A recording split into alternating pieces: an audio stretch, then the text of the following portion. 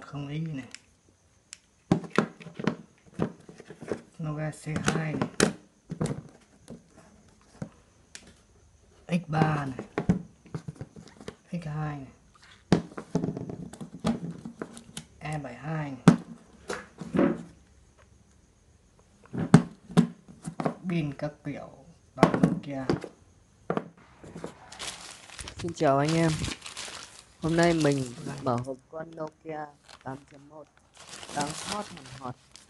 Ở thị trường điện thoại đầu năm 2019 Đầu tiên mình cho anh xem lại con Nokia mang lại dấu ấn lịch sử của nó. Những cái máy này. Em nó đây. Mình dùng từ những năm 2000 khoảng 16 17 năm nay rồi. Mình vẫn còn giữ lại. Đầu tiên phải kể đến con Nokia 110i con này đi rất sướng và êm tay. Hồi đấy tán gái toàn dùng bằng tin nhắn là chính. Tiếp đến con.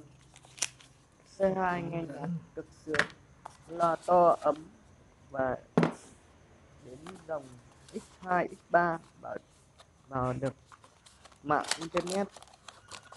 Rồi đấy. Và đây con Nokia E72 73 đẹp lung linh và sang trọng. Ngày đó ai có con này? Rất đẳng cấp tán gái đổ như dạng. Giờ nhìn lại nó vẫn thấy đẹp. Mấy con máy này đi theo mình mười mấy năm. Mình cất đi để làm kỷ niệm. Nhân thôi chém gió thế thế thôi vào nhân vật chính của chúng ta. Mình sẽ phá trinh con Nokia 8.1 màu bạc mà mình vừa mua được mình đặt mấy siêu thị lớn như FPT, Trọng điện máy xanh và Thế giới di động. Các shop này toàn nói là chưa sẵn hàng. Bộ đợi 4 năm ngày mới có. Mình kết em nó quá. Mình vào các shop tìm mấy ngày mới mua được con Nokia 8.1 này tại thế giới di động.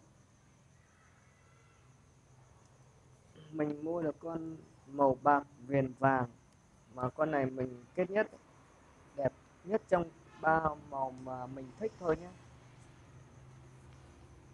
Còn anh em tùy sở thích, màu sắc của mọi người, màu bạc, viền vàng nó mang lại tổng thể của mạ, của máy rất nổi bật và sang trọng với hai mặt kính Classic, các viền máy và khớp nối chip liền mạch với nhau.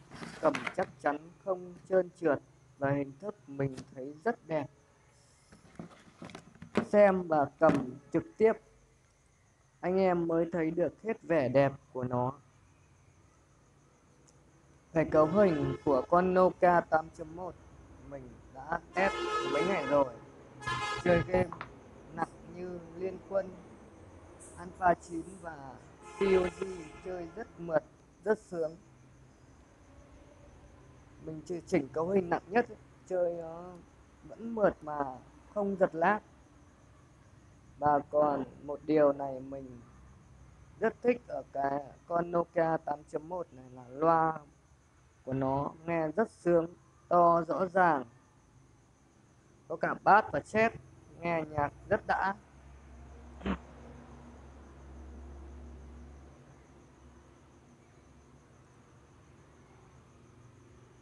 Thôi, chào anh em nhé các anh em có gì xin ờ, đăng ký và like, giúp kênh mình với nhá.